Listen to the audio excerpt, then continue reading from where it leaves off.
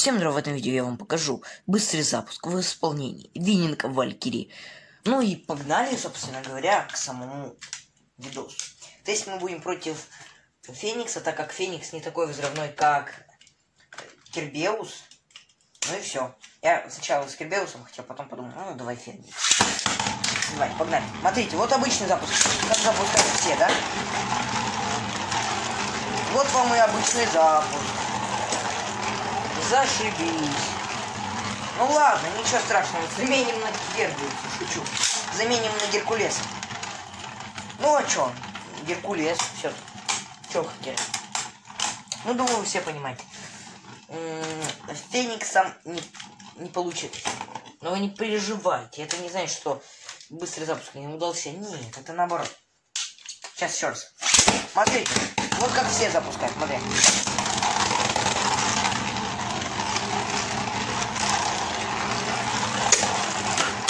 Вау! Ты что творишь? Валькирия! Вот вам и... Вот кто тут сейчас может сказать, что Геркулес сильнее Валькирии? Я не слышу вас! С первого раза разбил, да ты догонишь. Хорошо, тогда Геркулеса убираем. Геркулес нам не нужен. Тогда мы, знаете, что сделаем? Мы возьмем Кербиуса сейчас.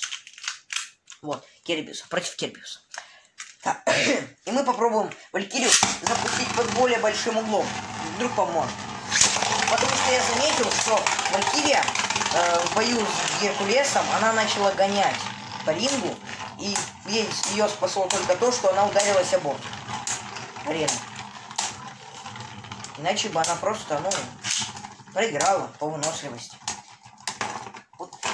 Вообще, зачем это нужна вынос?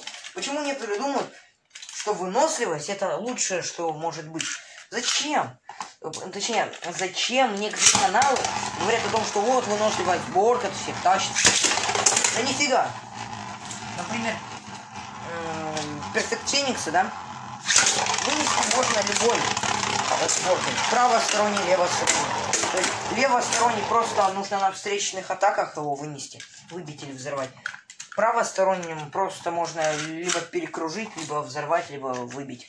То есть это все скилла, но при этом э, сборки тоже нужны, потому что не все хотят тренироваться.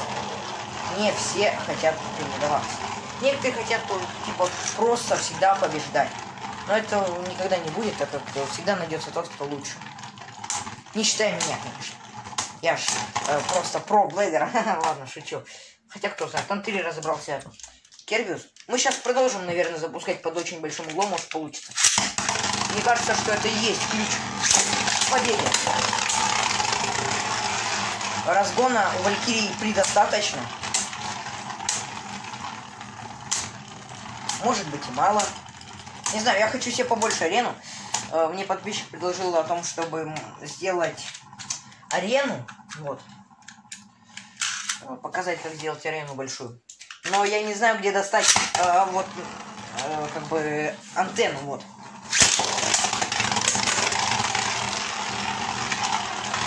О! Это Валькирия чуть не аукнулась. Хотя нет, аукнулась. Или как это? Я забыл. В общем, Валькирия могла сейчас просто тупо проверять по выносливости, а сейчас у нее шанс взорвать. Но нету шанса. Походу уже нет. Ладно, так вот, э, я не знаю, где антенну найти. Опять на три разобрался. Ты издеваешься. Ладно, по стене запущу. Что ты чё? Ты чё творишь, Валькирия? Ты глупая, что ли? Ну ты даешь, конечно. Просто взяла, вылетела. Ну, я пошла, вы меня не любите. Вы меня, э, как бы, вы мне, вау! Вы мне больше не друзья, вот.